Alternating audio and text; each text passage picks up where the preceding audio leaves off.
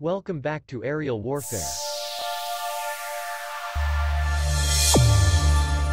A 6th Northrop Grumman B-21 Raider strategic stealth bomber has entered assembly, while the manufacturer continues to validate its software in anticipation of a rollout and maiden flight before the end of 2022.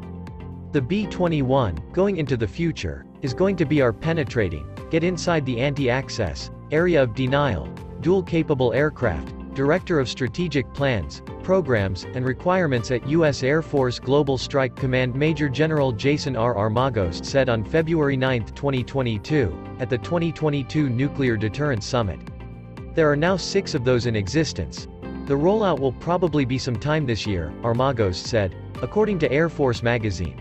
In 2020, it was announced that the aircraft's first flight was likely to take place in 2022. In mid-2021, it was revealed that five B-21s were being assembled, and the rollout of the first completed aircraft was expected to happen in mid-2022. The aircraft entered development in 2014 and is expected to serve as a replacement for both the B-2 Spirit and the B-1 Lancer. While similar in shape to the B-2, the B-21 will be lighter, cheaper, and stealthier. Geared towards the penetration of heavily protected airspace in a conflict with a near-peer adversary, the B-21 was said to be able to operate in tandem with a swarm of drones, referred to as loyal wingmen, as well as a capable reconnaissance and surveillance platform. The aircraft will be powered by a pair of Pratt & Whitney F-135 turbofan engines, the same type currently used by the Lockheed Martin F-35 Lightning II fighter jet. It will also use other existing technologies to reduce the cost and production time.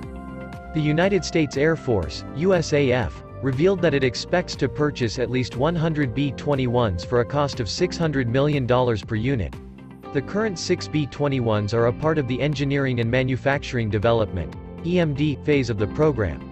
This means that while they can be considered prototypes, the aircraft are also likely to become the core of USAF's B-21 fleet later in their life. According to the Warzone, this mirrors the development of the B-2 back in the 1980s, when six aircraft were also built during the EMD phase, and later entered service.